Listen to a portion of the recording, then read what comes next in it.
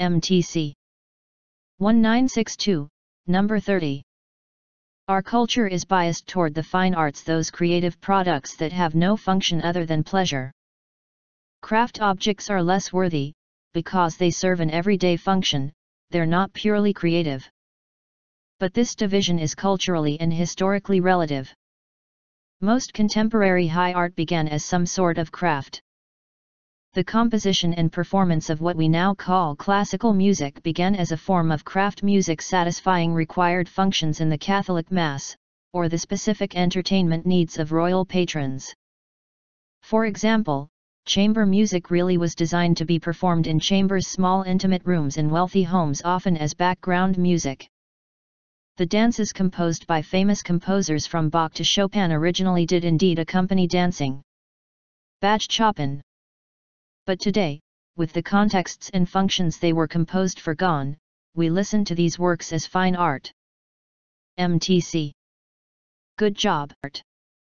MTC 1962, number 30. Our culture is biased toward the fine arts, those creative products that have no function other than pleasure. Craft objects are less worthy, because they serve an everyday function, they're not purely creative but this division is culturally and historically relative. Most contemporary high art began as some sort of craft. The composition and performance of what we now call classical music began as a form of craft music satisfying required functions in the Catholic Mass, or the specific entertainment needs of royal patrons. For example, chamber music really was designed to be performed in chambers small intimate rooms in wealthy homes often as background music. The dances composed by famous composers from Bach to Chopin originally did indeed accompany dancing. Bach Chopin. But today, with the contexts and functions they were composed for gone, we listen to these works as fine art. MTC. Good job, art. MTC. 1962, number 30. Our culture is biased toward the fine arts those creative products that have no function other than pleasure. Craft objects are less worthy, because they serve an everyday function, they're not purely creative.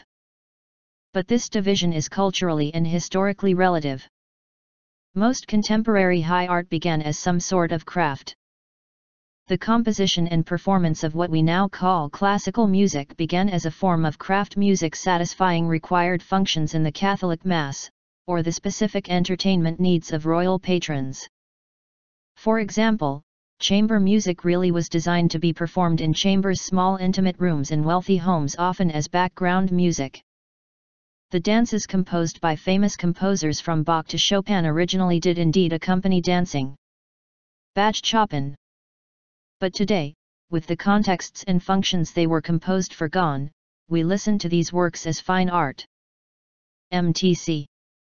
Good job,